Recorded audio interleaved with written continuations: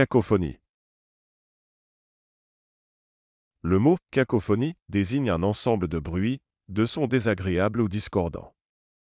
Cela peut également se référer à une confusion de voix ou d'idées qui rendent une situation chaotique ou incohérente.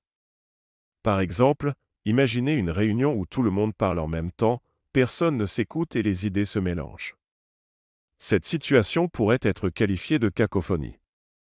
De même, si vous assistez à un concert où les instruments sont mal accordés et que les musiciens ne parviennent pas à jouer ensemble, cela créerait une cacophonie sonore désagréable à l'oreille.